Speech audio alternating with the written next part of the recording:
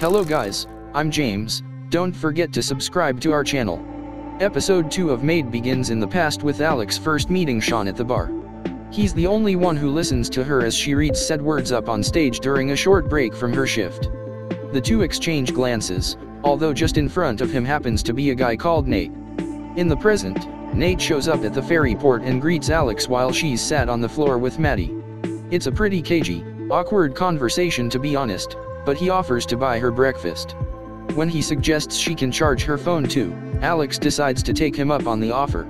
Nate is actually recently divorced, but it's clear there's some resentment between him and Sean, especially if his quip toward the late, great Sean is anything to go by. As they part ways, Nate hands over his phone charging cable for her and suggests she phone in the future. As she shows up at Value Maids though, Alex receives the worst news. Regina is refusing to pay for her gig on Fisher Island. If that wasn't bad enough, Alex receives a call from a lawyer called John Marshall, who happens to be representing Sean Boyd. Sean has filed an order to have parental rights taken away from her. With little other choice, Alex heads back to see Jody at the council, who suggests she call the domestic violence hotline. It may not have been physical abuse, but Jody is adamant that the mental and verbal abuse she's been suffering from definitely qualifies her for it. Alex shows up with Maddie to see Denise, who happens to be in charge of the home.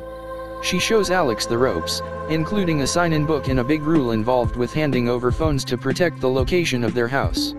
Maddie is not exactly happy with her new accommodation, until a friendly neighbor called Danielle hands over a whole stack of ponies left behind by one of the other women when they left. The next day, Alex and Maddie show up in court.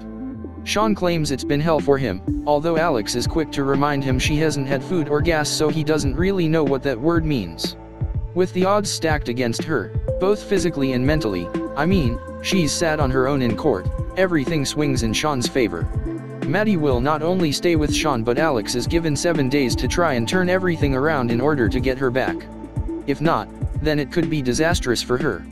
Alex promises her daughter that is only temporary, as she says goodbye and is left alone again. Back at the shelter, Alex is a mess but Danielle does enough to motivate her to stand up and get her act together. With only seven days she needs to get angry. Fueled on emotion, the pair head up to the open house Regina has set up.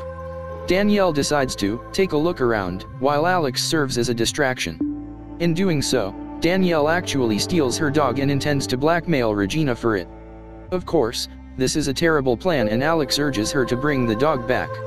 Only, Regina actually runs into her out in the street with the dog, but she doesn't recognize Alex at all. This is enough for her to snap and lash out at Regina, especially when she threatens to go to the police. She opens up about the horrible ordeal she's been through and how she lost her daughter thanks to this woman being stingy and refusing to pay up. This single rant sees Regina back down and walk away, deciding not to phone the police after all. Danielle drives Alex up to the trailer but Doreen, Sean's mom, shuts the door in her face and claims Maddie is in bed.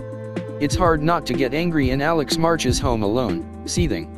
She does stop by the bar to see Sean bartending, a big grin on his face, before eventually making it back to the shelter. In the morning, Alex receives the best news. Regina has cashed the check and that means she can stop by with Yolanda and get paid. Danielle has already left though and decided to head back home to her abusive partner. Alex is understandably torn, and given her partner strangled Danielle last time, she's worried sick. However, Denise reassures her that it can sometimes take five or even six times for these women to properly leave their cycle of abuse. It's here we also get the first glimpse of Alex's abuse too, as she recounts the moment Sean found out she was pregnant. The red chair out on the lawn in front of the trailer is actually Alex's and it's significant. Sean threw that and all of her belongings out onto the lawn before verbally abusing her. Since shouting and screaming in her face, Alex has been afraid of Sean and he's been controlling her life ever since, wearing her down bit by bit. See you to the next video.